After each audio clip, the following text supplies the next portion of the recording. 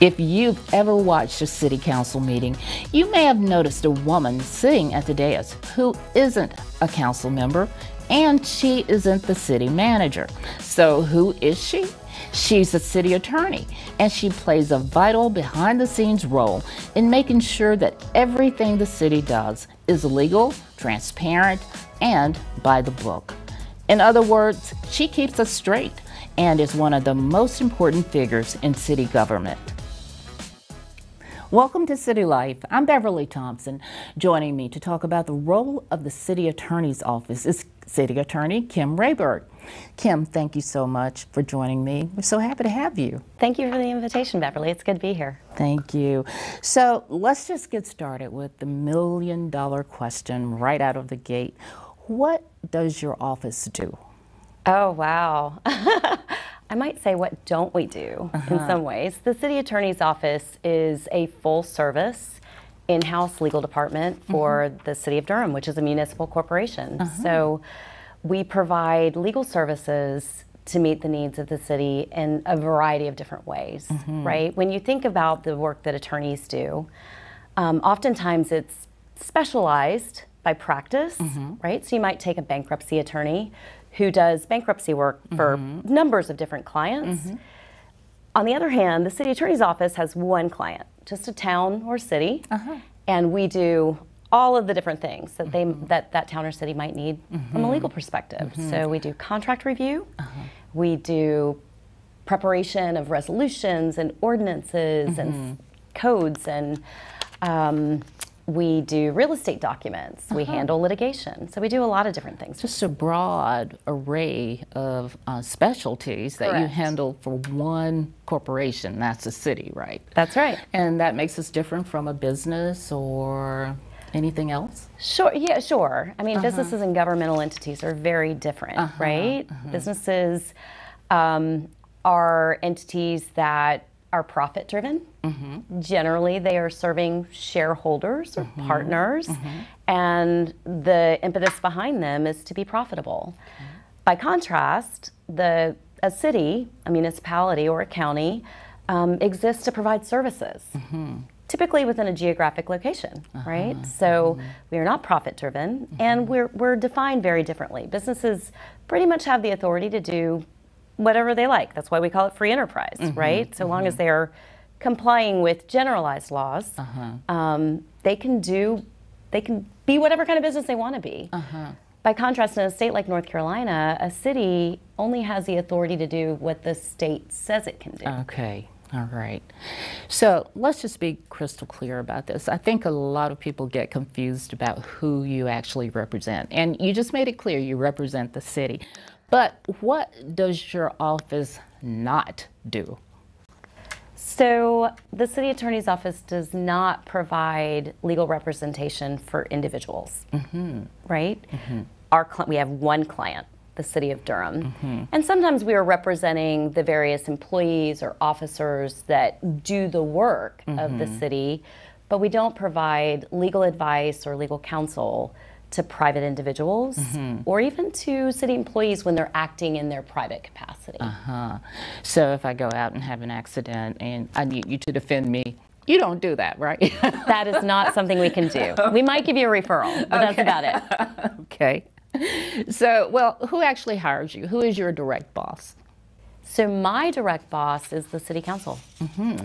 And they um, hire you? That's correct. The members of the city council are are charged by state law to have an mm-hmm. attorney. Every mm-hmm. municipal government in the state has to designate an attorney. Uh-huh. And um, so they appoint, we are appointed mm-hmm. officials. Mm-hmm.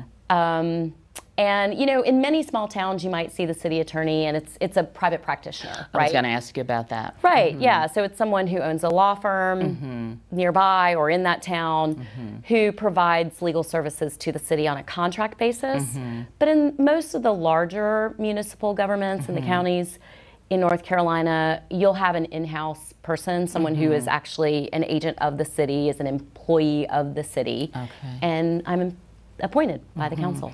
Okay, so why is it that the work that you do and the way that you do it is so important for how the city actually functions? And you can give me an example. Right. It- it- well, the legal arm of a municipality Uh-huh. works in partnership with virtually everything that the city does. Okay. Right? And so the work that cities do across the board is important work, Mm-hmm. providing clean water, right? We're sitting here in a studio in the water management facility. Right. I mean, the work that water management does is critically important. Mm-hmm. There's an attorney in my office who works hand in hand with them on virtually everything they do, Uh-huh. right? Mm-hmm. Whether it's building a new water reclamation facility, Mm-hmm. whether it's working on easements that water management needs to Mm-hmm. get water to and from various areas of the city, there's an attorney who reviews those documents, um, who tells them whether they're acting within their authority, um, who is looking that's out. the authority granted by the state. Correct. Okay, Correct. right. Who t- who makes sure that the department is acting within the laws Uh-huh. that govern it. Um, and that's true for every single administrative unit in the Mm-hmm. city, right? Each department has an attorney that's working closely with them. So Mm-hmm. we, we make sure that the city acts lawfully Uh-huh. and within its authority. Mm-hmm. One of the things that we also do is we protect the public fisc, right? The resources of the taxpayers. Uh-huh. Your, people's tax dollars Mm-hmm. pay for the activities of the city. Uh-huh. And the attorneys carefully monitor activity to make sure that we don't lose those funds to Uh-huh. liability, like Mm-hmm. from lawsuits, right? Um, we also make sure that um, we are negotiating good terms within contracts that Mm-hmm. are favorable to the cities and thus favorable to the taxpayers. Uh-huh.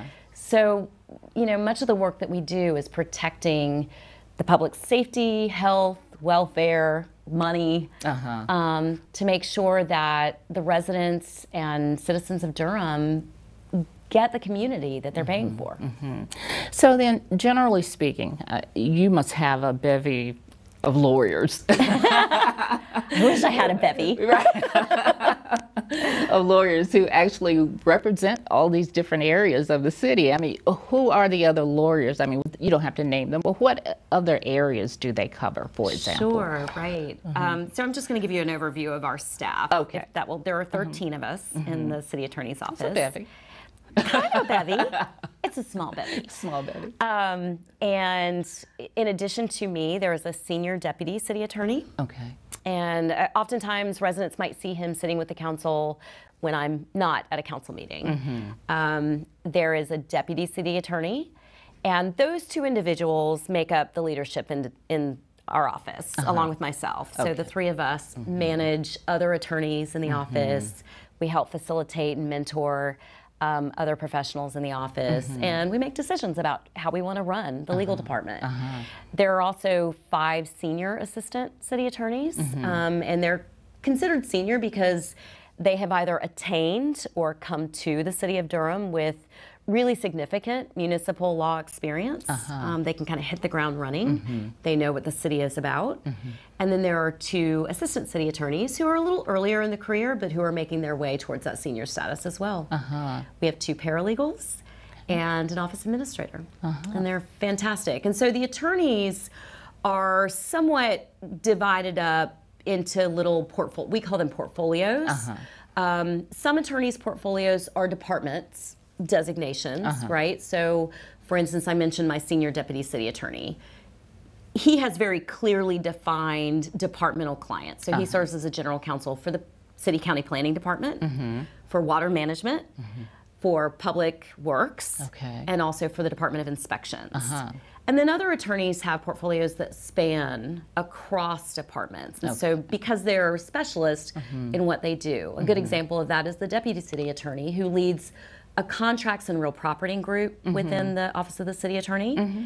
And so he does really complex construction contracts and very detailed contracts across department. He also handles eminent domain. Uh-huh. So any number of departments within the, within the city might mm-hmm. want to bring an eminent domain action. Um, so yeah, So he would be the specialist that the departments would go to to. correct. Yeah, working primarily in that instance of eminent domain with uh-huh. general services, but mm-hmm. it might be water management that needs property. It might be public works that needs property. It uh-huh. kind of varies. It might be fire for a new fire station. Yeah, So sure, So what about public records? I mean, that's definitely across the organization. it is. And I mean, how do you decide which attorney would be the specialist for that? So each attorney works with their client departments on public records uh-huh. requests generally. And I know mm-hmm. my office and your office Right. work uh-huh. very closely uh-huh. on those matters. But yeah, if there are questions from the client department, let's mm-hmm. say Neighborhood Improvement Services, NIS, has a question about whether something is a public record or not, Yeah. whether they can release it or not, mm-hmm. they would consult their attorney to ask that question and work through those issues. Maybe have the records reviewed by the attorney to make sure it's it's clear to release it. All right. Uh, well, I know this can be confusing for a lot of people, and I, I can't say that I clearly understood the difference when I started working for the city just a few, few, few, few years ago. right? Many years ago, actually. what is the difference between the city attorney's office and the Durham District Attorney's Office? Oh, wow, that is a great question. Mm-hmm. And you're right, th- there is a lot of confusion Yeah. about that. Mm-hmm. So, within the state of North Carolina, and, and I'm going to make it state specific because this is not true across the country. Some states do oh. it differently. Uh-huh. But let's look at North Carolina. Okay. Within our state, as I previously mentioned, city attorneys represent municipal corporations. Uh-huh. We are civil lawyers, so we only do civil law. Civil mm-hmm. law is lawsuits, contracts not in litigation, things that are being done transactionally for legal purposes, but that are not disputes that are heard by courts. Okay. Right? Uh Um, and we only have one client, as I previously mentioned, just the city. So we're doing civil work for the city. A district attorney, on the other hand, in our state is a prosecutor. So it's a criminal attorney. Um, the state of North Carolina has 43 prosecutorial districts. Uh-huh. So, for instance, Durham comprises one prosecutorial district, mm-hmm. District 16, mm-hmm. and that attorney is charged with enforcing state criminal law. So, mm-hmm. the district attorney handles all criminal matters and juvenile matters as well before the superior and district court divisions in our state. They are constitutionally elected officers, so they are independent. They do not have anything to do with the city, and I know that is very confusing for Yeah. people. Mm-hmm. Many years ago, I handled a lawsuit that was filed against the city and a number of different agents and departments, uh-huh. and they included the the district attorney in that lawsuit, It's- assuming that the city oh. had control over the district attorney or that the uh-huh. district attorney somehow worked in concert with the city, and that's not true, uh-huh. right? Okay. So a district attorney is an independent, constitutionally elected officer mm-hmm. who only handles criminal matters. Mm-hmm. It gets a little confusing because they do work with local law enforcement. Yeah, I was gonna say that. Work On closely. investigation Right. Mm-hmm. and enforcement of criminal mm-hmm. law and trying those actions. But that is just a partnership. It's not an official connection of any sort. So the district attorney does not control local law enforcement, and local law Mm-hmm. enforcement doesn't really answer to the district attorney. They just work in concert on a process. Uh-huh. Would you ever have a relationship or any, any kind of interaction with the district attorney's office? Oh, sure. Sure, we do, of Uh-huh. course. Um, typically on records issues. Mm-hmm. Um, uh, on a personal level, I've had interaction with the district attorney, who mm-hmm. was the current district attorney was a law school classmate of mine, and Oh. we've mm-hmm. done you know talks together, panels together, that sort of mm-hmm. thing. But from a business standpoint, usually we are just interfacing about the Durham Police Department. Okay, all right. So let me ask you then if a complaint or anything like that is um, made about anyone working for or representing the city, how do you handle that? And do you handle complaints against the city? Sure. So it, it kind of depends on the nature of the complaint, mm-hmm. right? So if we are dealing with a formal complaint, a, mm-hmm. a lawsuit filing, for instance, uh-huh. or a notice of a legal claim, mm-hmm. um, the city attorney's office, working in conjunction with the risk management division, which is a component of the city's finance department, uh-huh. we do handle those complaints, right? We get a lawsuit in we start, you know, we hit the ground running in the litigation process. We make sure that the city or city employees have been properly served and we represent them in their official capacities. We represent the city. Mm-hmm. We respond to the lawsuit. Mm-hmm. In the case of something that's just a formal claim of, uh-huh. you know, you owe us money because you wrecked our car, right? Mm-hmm. Um, that has gone to risk management. Risk management will work with the city's excess insurers or adjusters Okay. to evaluate the claim to determine if the city wants to pay it without engaging in litigation. Um, so yes, we do handle those types of claims. If it's if it's something that's a little less formal, like a complaint of behavior, right, mm-hmm. about mm-hmm. a, a city employee, mm-hmm. for instance, kind of also depends on what the behavior is there as well. If it's if it's an employment type of matter, you know, someone didn't like the way that they were treated by someone who is public facing, uh-huh. let's say, um, th- that is handled through the city manager's administration and those channels, uh-huh. generally at the supervisory level. Okay. Right? We deal with complaints about employee behavior there. If it is some sort of dispute, employment dispute, mm-hmm. the city's human resources department would mm-hmm. handle that as an mm-hmm. employee relations matter.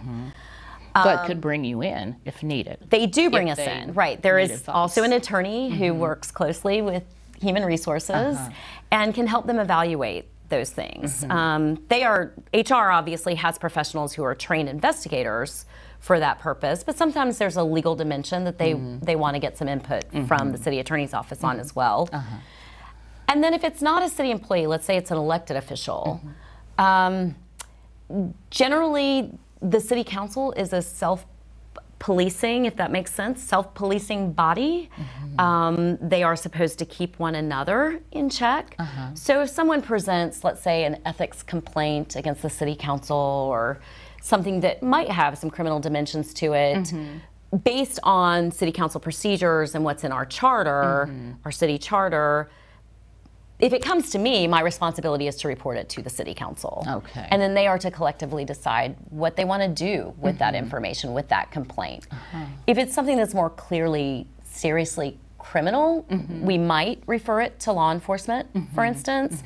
But you can see the tension that might have arise, yeah. right? With the Durham Police Department being the law enforcement agency that's tasked with investigating such a thing. So it might be a more feasible situation to report it to someone like the Durham County Sheriff's Department mm-hmm.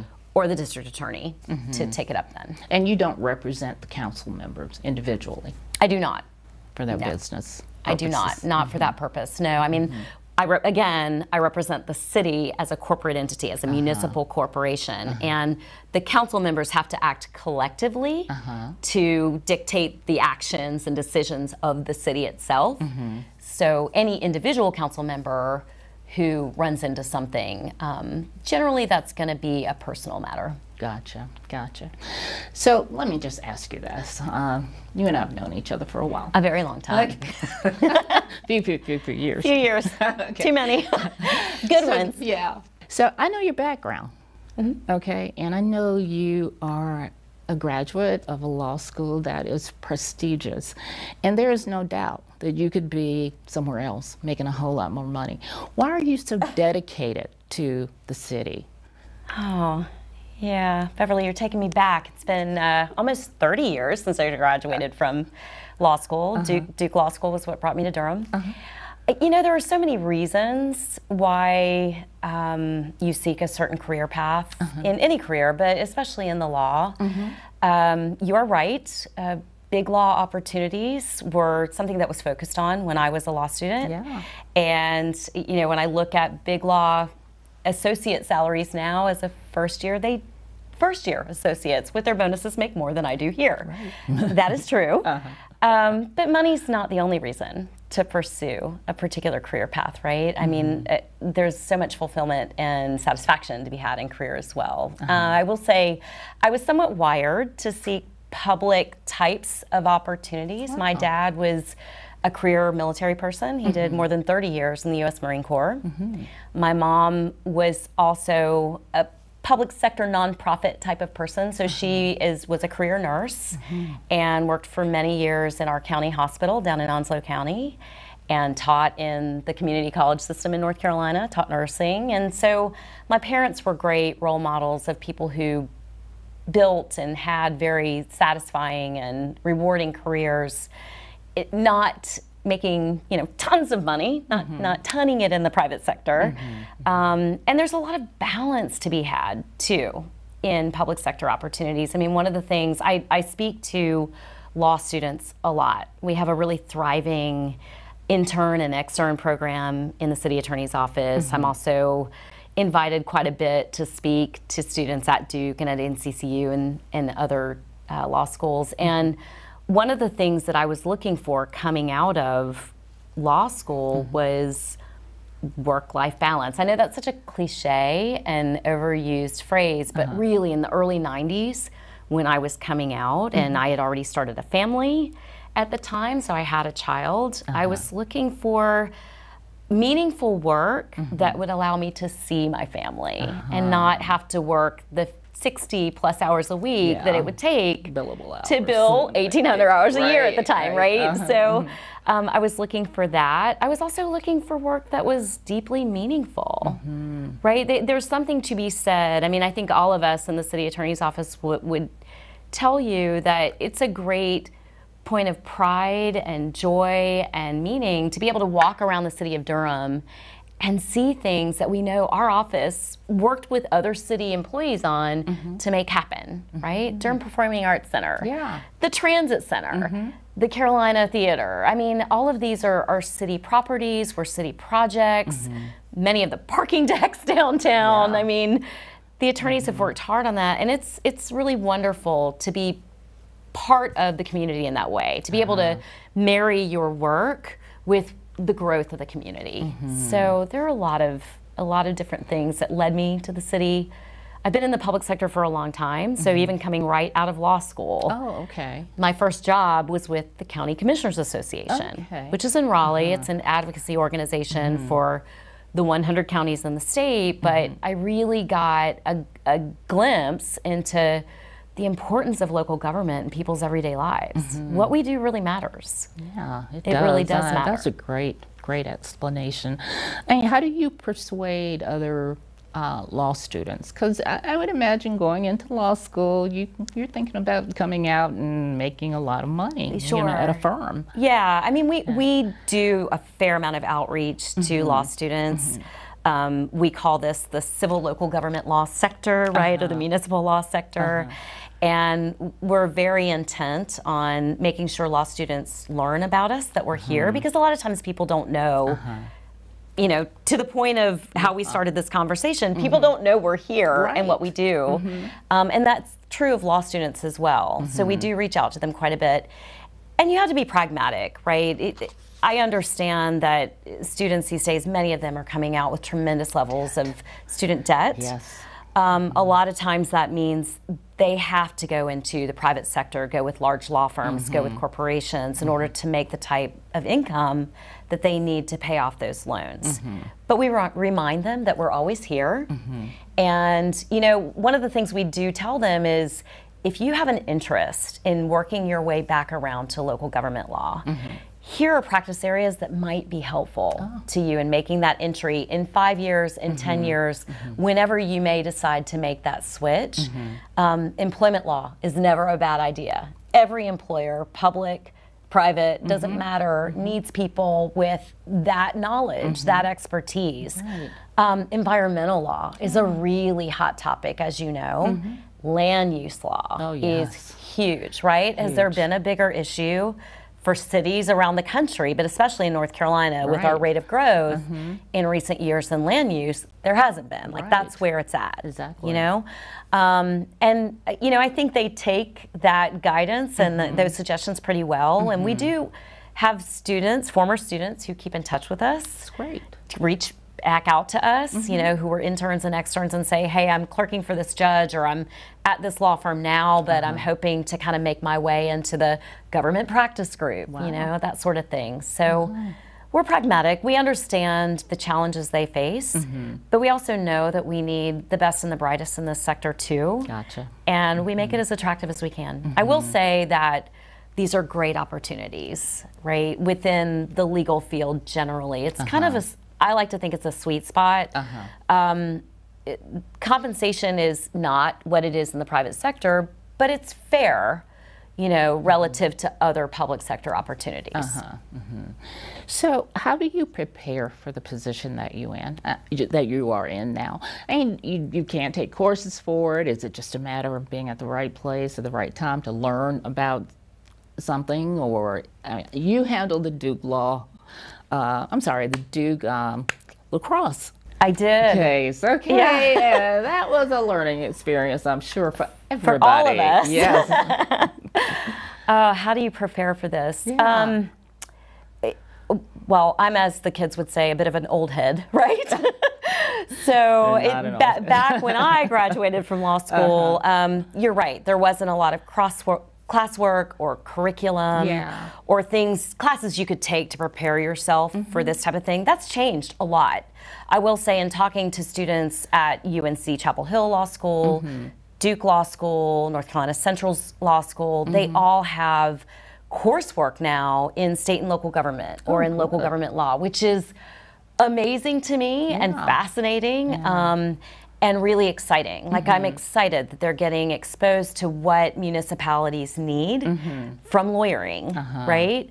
Um, so that landscape has changed a little bit. In terms of how I prepared, um, you know, you you need the law degree if you want to be a city attorney, obviously, but you also have to have a pretty um, healthy interest in what local government does, right? You have to be curious. You have to want to learn. You have to want to mm-hmm. learn something new. None of us are masters of anything, uh-huh. right? Mm-hmm. We have some that are really, really good at what they do, uh-huh. particularly our land use specialists, uh-huh. right? Particularly our contract specialists. But when you come in the door, you're you're a generalist, and you're having to look at a lot of different areas of law because city operations are so broad. And so the city attorney's office has to cover a lot of ground. Mm-hmm. So you have to love learning. You have to love learning about what government does. Um, when I, as I mentioned earlier, I, I started on the county side. So I learned first about what county governments do. And then I mm-hmm. worked for Durham County as well for a few years early in my career ah, before I came to the city. Yep. And so, So you know, life and- didn't begin with the city. it okay. didn't. No, and, and so it's been this constant quest of, uh-huh. you know, exploring what governmental entities do, what they uh-huh. need. Um, I used to do tax collections work and represented Register of Deeds and things like that. So mm-hmm. um, you have to constantly be building on that knowledge base uh-huh. and understand that no two days are ever the same. So if mm-hmm. you're a creature of habit and a creature of routine, mm-hmm. you might struggle a little bit in a mm-hmm. municipal law office because literally it's different every day when you walk in. I believe it. I think in the city, that's just commonplace. Nothing is ever the same. I think all city employees know that, right? Exactly. exactly. So, Kim, you're first, the first black city attorney for the city of Durham. Female. Female. No, my predecessor was a Uh, black yeah, that's attorney right, as well. That's right. I meant female. But how has it um, been for you? I mean, is it just like you thought it would be? And is it uh, walking the, you know, is it easy? Um, you know, Beverly, I honestly don't, I don't think that's a fair question. about my. I I don't think every day about my identity. I will say. uh-huh. Um, I I think Durham is such a special city in that way. Mm-hmm. The city clearly valued and was striving for diverse environments and diverse workplaces Mm-hmm. well before I arrived Uh-huh. in the workplace. That's not true of every city, right? I, I get that. There are some cities where being the first black female would feel a little lonelier. Yeah. But you know, look at yourself, Mm-hmm, right? You're a department director. The city manager is a black woman. Mm-hmm. There's a deputy city manager who's a black woman. So, so I'm in such great company Mm-hmm. in this particular city, and I have been throughout my career. I will Uh-huh. say. So when I when I came to the city attorney's office in 2005. Um, there was one other black attorney in the office Mm-hmm. at the time. Um, I was the first I was the only black female at that time. There had been black women attorneys in the office who preceded me, Uh-huh. which is really notable because that Mm-hmm. can't be said of, of many of the larger in house offices in the state. Right. Right? Like Durham was kind of getting out ahead of that game Mm-hmm. early and creating opportunities and, and workspaces that were Yeah. diverse and brought a number of different life experiences to them. Um, but as I've grown in this office, I mean, the level of different life experiences that has been added to our team is just incredible, right? So I mentioned there are 13 of us. Um, of those 13, eight are women, five are men. Um, That, that wouldn't have happened 20, 30 years ago No, at all. not at all. Yeah. mhm. And if I look at, at the attorneys, I mean, three are black attorneys, three are Hispanic, and four are white. Wow. Um, Very diverse. we have two immigrants on our team. One of the paralegals immigrated to this country from Cameroon, and one of the attor- attorneys immigrated as a child from Honduras. Wow.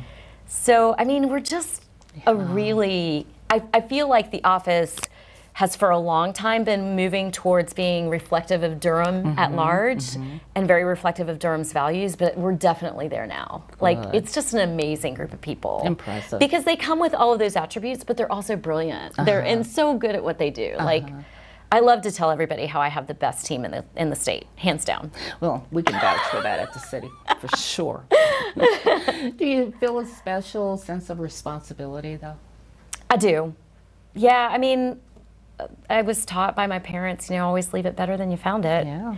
Uh-huh. Um, and so, and, and, and I will say, my predecessor was an amazing city attorney. I, mm-hmm. I worked for him for more than a decade, mm-hmm. loved working for him. And then his predecessor, the attorney who hired me, uh-huh. um, has been an incredible mentor my entire career. In fact, uh-huh. I just saw him earlier this year because I was up at a conference in DC and he oh, now lives in the DC area. And I reached out to him, and it, it meant so much just to be in his company, to kind of share war sto- stories.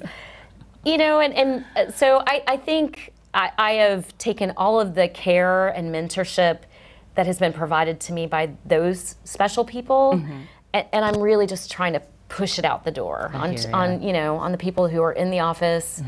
Uh, we've got an incredible group of youngsters. I love to tell this story. So five years ago, um, back before I was appointed city attorney, just mm-hmm. before, I was literally the youngest person on the team.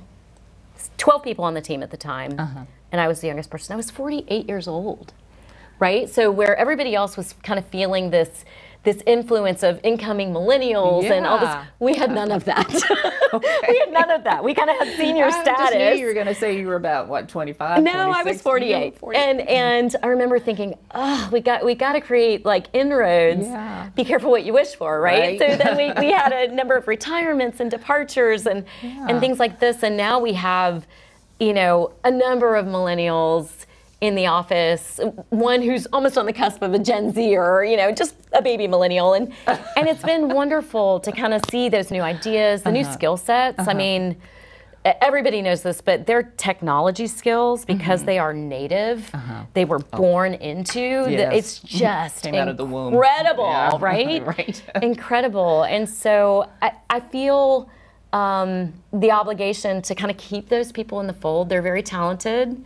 One of the challenges that we do have is more mobility in our workforce. I mm-hmm, think mm-hmm. everybody within the city is feeling that. Uh-huh. Um, one of the hallmarks of the city attorney has office has been tremendous longevity. Mm-hmm. So kind of getting buy-in from this new generation of employees, it's not been wired to go somewhere and, and work for 30 years and get the watch and you know, Right. they, they're not told to do that and their peers are not doing that. But to get buy-in from them to kind of really make a commitment and to keep their skills and their talent with us it's a challenge, and i'm working on it um, but i but i have great visions for them All right. Yeah. Sounds good. Yeah. In fact, I think you could pass that along to other department directors. I mean, it is a challenge uh, is. to bring people here and have them stay. I mean, that's just, uh, you know, different from how it has been in the past. I mean, the Yeah. organization used to sell itself, Right. Right, the stability, the safety, the benefits. We all love to talk about. Exactly. But now we really need to build culture. Yeah. That keeps people in the fold, Yeah. and that's something I work on. And um, I love being the first of what I am, but there are people in that office who will be another different 1st Uh-huh. And I can't wait to to contribute to making that happen. Uh, so if people want to find out more about the city attorney's office, how do they do that? Sure. Um, they can go to durhamnc.gov. Okay. we are we are listed right along with all the other departments and offices. Uh-huh. Um, the city attorney's office does have a page, and they can visit our page. They can see Mm-hmm. what we're about, what we do, why we do it, how we do it. There's Okay. a staff directory they can consult, and they can also see the practice areas. Uh-huh. Those portfolios that I previously mentioned are available on our webpage, and Wonderful. they can call us. We, we do get a fair number of, of residents who reach out Uh-huh. and ask questions. We don't provide private legal counsel, Okay. But we do provide information. I mean, that's one good purpose that we can serve Mm-hmm. to the public at large is helping them understand how their government works and why. Gotcha. Anything else you'd like to add? This has been delightful. Oh, thank you so much for the invitation. Um, I don't think so. I, I just, you know, know that we're there if they need to access us. We're on second floor, and um, I would just really appreciate the platform to tell you a little bit more about what Municipal Law Office does. Thank you so much for joining me. Thanks, Bev. All right. Take, Take care. Okay. Well, that does it for City Life. Don't forget to follow us on social media, watch us on Durham Television Network and on YouTube, and you can listen to our podcast on iTunes. I'm Beverly Thompson. Thank you for joining me to learn more about city life in Durham.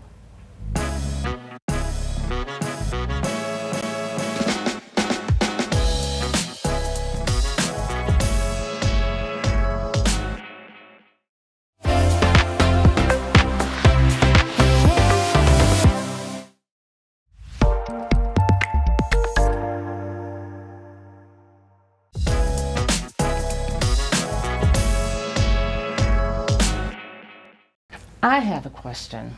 I wish I had asked earlier.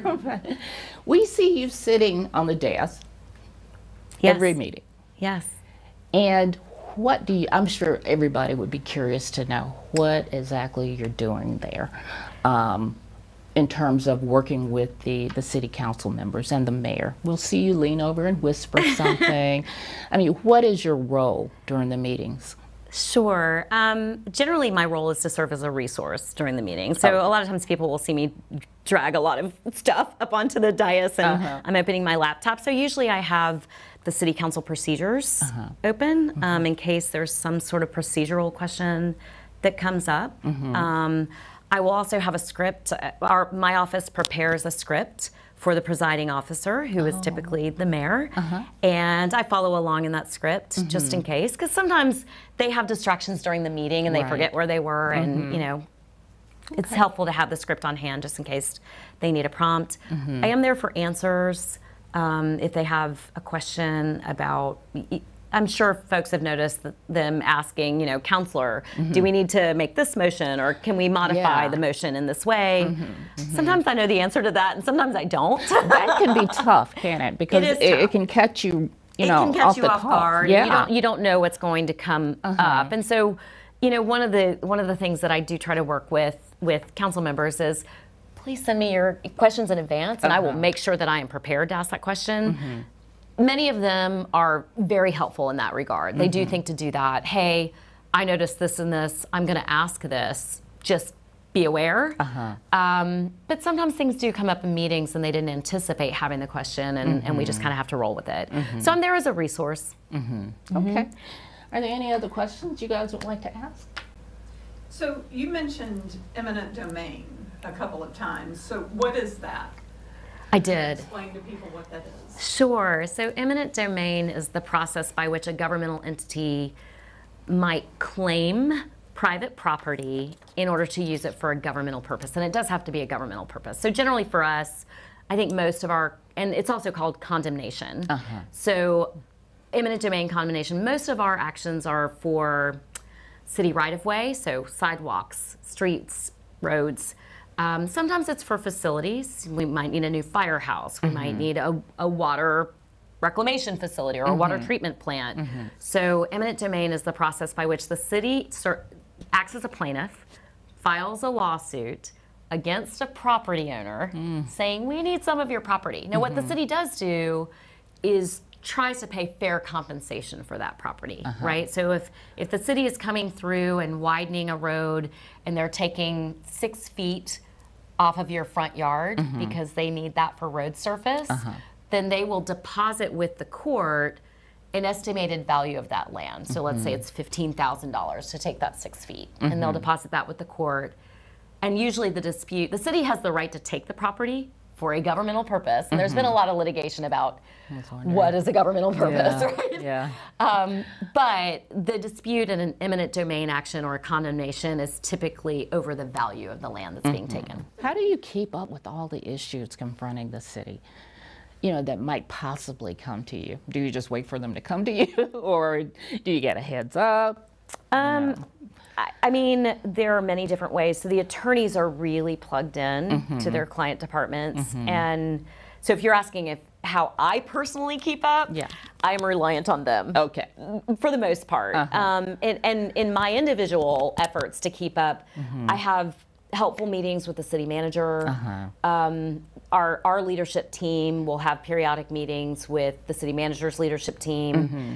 To kind of share things that are percolating. Mm-hmm. Um, so that's kind of how I keep up is Mm-hmm. is those interactions, those relationships, those meetings, Mm-hmm. just to get information. The city manager shares, as you know, her weekly report Right. um, well, the, I guess the departments are reporting to her. Right. It's also distributed to us so that we can kind of see what's going on in the departments.